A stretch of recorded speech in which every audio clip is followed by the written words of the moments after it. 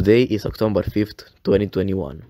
This is Lesk, your host for today, bringing you your daily Silksong news.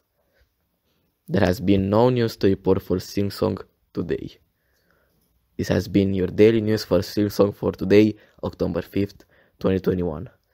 Oh god, when we will get some news?